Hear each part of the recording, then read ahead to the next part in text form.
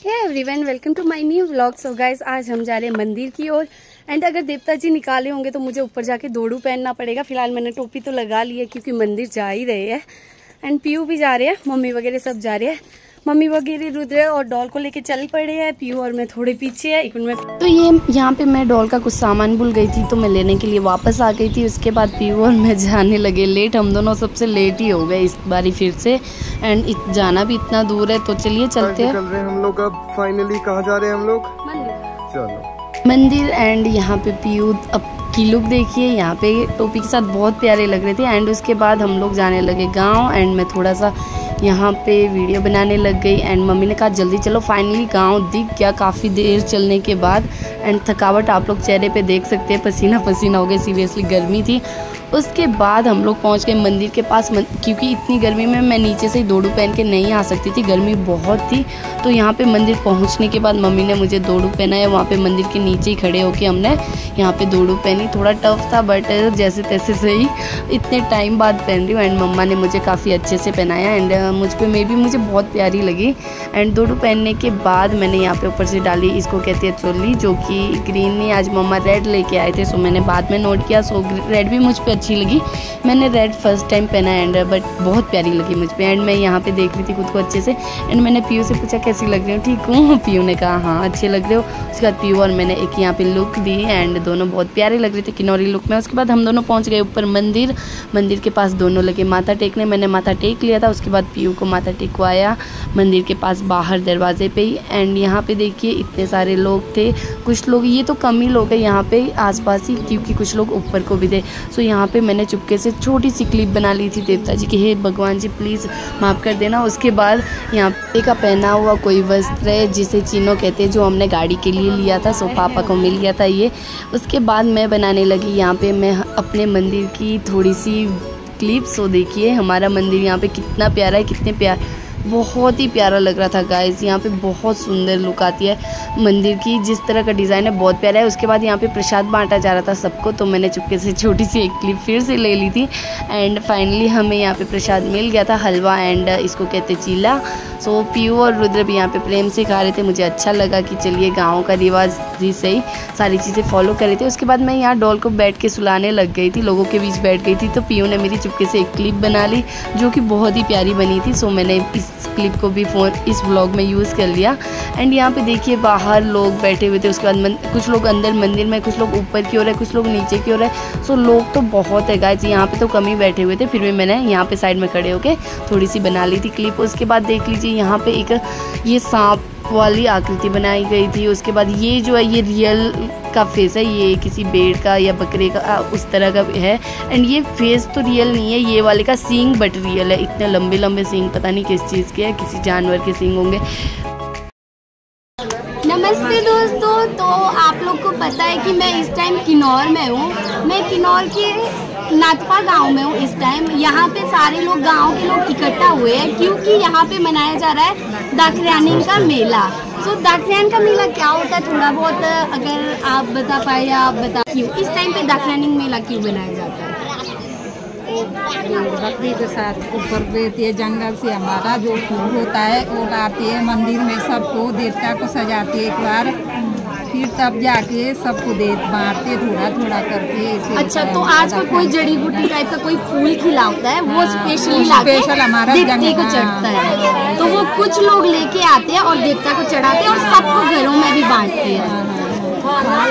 हाँ लोग लाते हैं। जो भेड़ बकरियों के साथ रहते हैं ऊपर वो लोग लाके देवते को यहाँ साल में आता ना हमारा को चढ़ा साल में हमारा और साथ ही साथ आज इकट्ठे होने का एक मोटिव ये भी है कि यहाँ पे एक फौजी है गाँव के जो कि रिटायर आए थे। तो यहाँ का कल्चर देखिए कितना अच्छा है दोस्तों कि यहाँ के लोग इकट्ठे होके सारे गाँव के पूरे गाँव के लोग चाहे वो अदर कास्ट हो लोअर कास्ट हो या अपर कास्ट सब मिलके सेलिब्रेट करते हैं। यहाँ पे सारे गाँव के लोगों को इकट्ठा करके भोजन खिलाया जाता है खुशी से।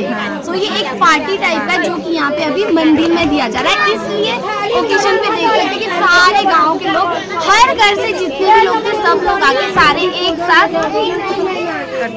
सारे एक साथ होके भोजन खाएँगे। बाकी हमारा किन्नौर का कल्चर तो नहीं है। देवभूमि है देवभूमि और देवों की नगरी। और फ़िलहाल हम लोग इस टाइम देवता के स्थान पे मौजूद है। बाकी देवता की कृपा बनी रहे सब पे। अगले साल भी इसी तरह दाखियान आए और जितने लोग यहाँ पे सेलिब्रेट करें दोबारा से सेलिब्रेट करें थैंक यू तो अभी आप लोग से मैं जानना चाहूँगी ये जो देवता को फूल लाते हैं इस फूल का क्या नाम होता है? जय बाजुल ये फूल लाते हैं और ये अभी श्रावण के महीने में खिलता है। सामान के मिले में। वो क्या बोलते हैं? हमारा मेला होता है। लाते हैं जंगल से। लाते हैं। हाँ बेड़ी के साथ तो आप लोग क्या थोड़ा बहुत इसके मैंने सुना है कि यहाँ पे लोग इकट्ठे होके एक साथ गाना बजाना सब कुछ करते हैं और हर कल्चर या फिर जो भी आप लोग का यहाँ त्योहार होता है उस पर एक एक गाना बना होता है। तो जैसे दाखरियान है इस पे भी कोई गाना बना है? तो ना थोड़ा बहुत आप लोग गा के सुनाएँगे। थोड़ा सा बस कुछ बोल, कुछ लफ्ज आप लोग ये दाखरियानिंग के गाने, गाना गा के सुनाना चाहेंगे तो।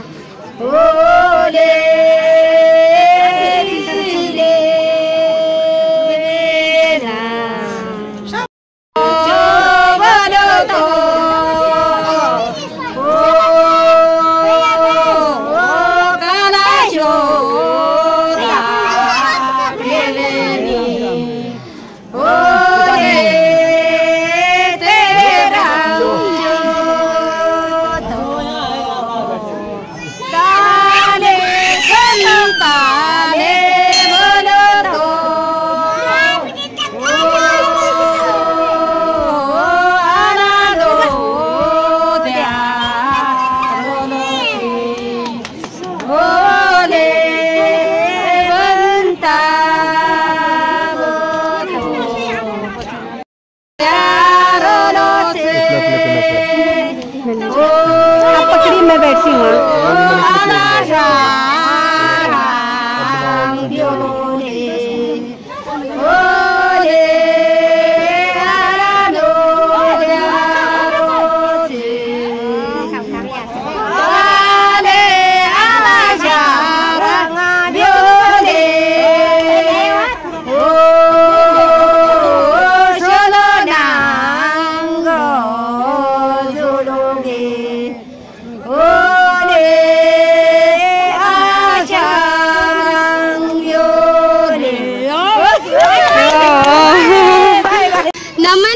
देवी देव भूमि को नमन नमन है ऐसी जगह को जहाँ पे देवता स्वयं वास करते हैं और एक साथ लोग मिलके सारे एक साथ हर कल्चर और हर त्योहार को सेलिब्रेट करते हैं। हर का भी, जिसकी भी खुशी हो, गम हो, कुछ भी हो, सब लोग एक साथ सेलिब्रेट करते हैं। बस नमन है ऐसी देव भूमि को। सो अब यहाँ पे सब लोग खाना खाने लग गए थे। सबसे पहले यहाँ पे मिलता है मटन, जो कि सबने ले लिया। हमने भी खा लिया। उसके बाद हम लोग चल पड़े। मैंने पूछा पीयू से कितना एंजॉय किया? सो खाना तो पेट भर के खा लिया था। मैंने आगे क्लिप नहीं बनाई।